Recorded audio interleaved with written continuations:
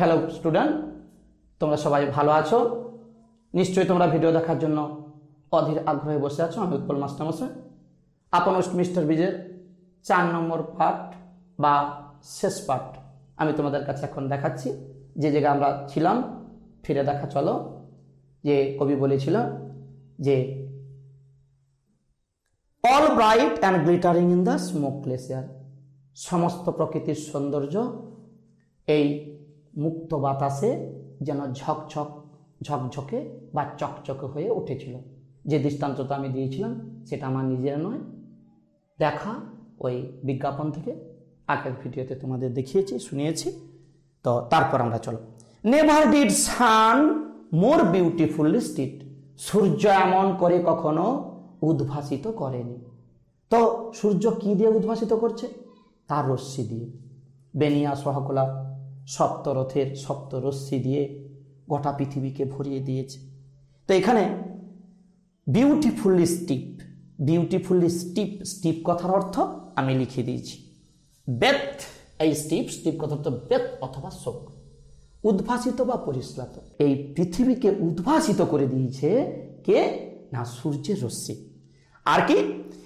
In his first splendour valley rock সূর্য এই পৃথিবীর উপর অবস্থিত বিশেষ তিনটা জিনিসকে উদ্ভাসিত বেশি করে করেছে। কি কি? Valley, rock, or hill. আমি এটা লিখিয়ে দিইনি, তোমরা এটা নোট করে নাও। এটা কোশ্চেনটা লেগে যায়, স্টার কোশ্চেন। যে সূর্য তার রশ্মি দিয়ে পৃথিবীর উপরিভাগে কোন কোন জিনিসকে ভরিয়ে দিয়েছিল, উদ্ভাসিত করে দিয়েছিল নতুন বইয়ের মতো? Valley, rock, or hill. মানে উপত্যকা, শিলা এবং পর্বতকে। ক্লিয়ার? তারপরে। Never saw, never felt, a calm so deep. বলছে, এত স্নাক, স্নিগ্ধ, এত শান্ত। আমি আগে কখনো দেখিনি, কখনো আমি অনুভব করিনি। তাহলে এই যে ভোরবেলাকার দৃশ্য, এত শান্ত। শান্ত ইংরেজি আমরা সাধারণতভাবে জানি কি? পিস। পিস মানে শান্ত।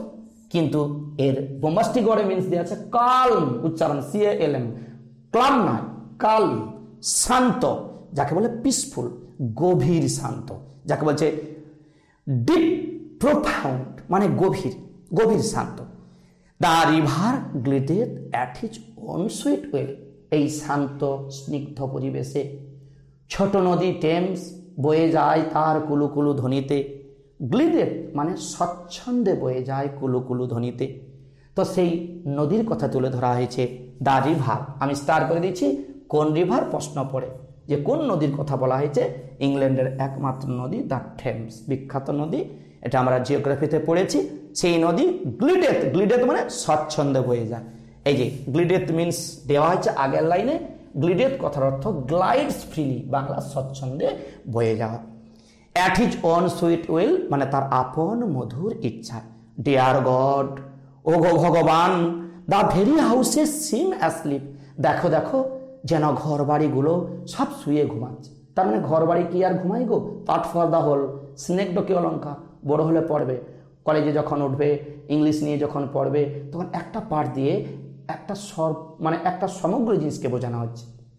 তার মানে ঘর দিয়ে ঘর ঘুমাচ্ছে, বাড়িঘরগুলো ঘুমাচ্ছে। তো কবির কল্পনা ঘর বাড়ি কি আর ঘুমায়? তার কি আর হৃদয় আছে না প্রাণ আছে? ঘরের ভিতর রয়েছে মহান আত্মা। সে আর নাম কি? মানুষ। ভগবানের শ্রেষ্ঠ সৃষ্টি, সেই মানুষ, সে নাকি ঘুমাচ্ছে ঘরের ভেতর। আর ঘরের দরজা বন্ধ করে যখন ঘুমাচ্ছে, তখন মনে হয়েছে কবির, ঘরগুলোও ঘুমাচ্ছে আর ঘরের ভিতরে মহানাত্মা তারাও ঘুমাচ্ছে। তাহলে ডিয়ার গড উপ ভগবান, এই শান্ত পরিস্থিতিতে the very houses seem sleep ঘর বাড়িগুলোকে যেন মনে হচ্ছিল নিঝুম, নিথর। আমি এখানে একটা মাল্টিপল চয়েস পড়ে যে ঘরবাড়িগুলো কেমনভাবে ঘুমাচ্ছিল। সিম অ্যাসলিপ মনে হচ্ছিল ঘুমাচ্ছিল, কিন্তু ঘরবাড়িকে আর ঘুমায়? And all that mighty heart is tying line still এবং ওর ভিতর সেই মহান হৃদয় মানব মানব আত্মা সে নাকি স্থির হয়ে ঘুমায়। তাহলে মাইটি হার্ট কথার অর্থ, এখানে অর্থ নয় রেফার করে মাইটি হার্ট রেফার টু উত্তর হিউম্যান সোল বাংলা মহান মানব হৃদয়। এইভাবে কবি লন্ডন শহরের ভোরবেলা দৃশ্য।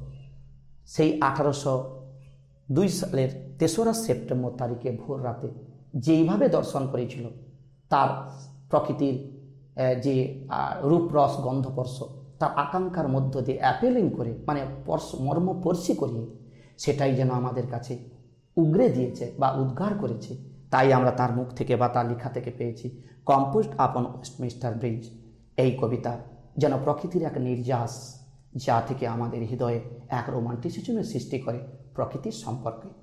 ধন্যবাদ। ছাত্ররা, তোমাদের যদি সত্যি ভালো লেগে থাকে, আমার পড়ানো যদি তোমাদের হৃদয়কে, দিলকে টাচ করে যায় কমেন্ট বক্সে তোমরা একটা কমেন্ট করো অথবা লাইক দিয়ে দাও। যদি কোনো বলার থাকে, জানার ইচ্ছা থাকে, তাহলে অবশ্যই কমেন্ট বক্সে আমাকে কমেন্ট করবে। ধন্যবাদ, সবাই ভালো থাকবে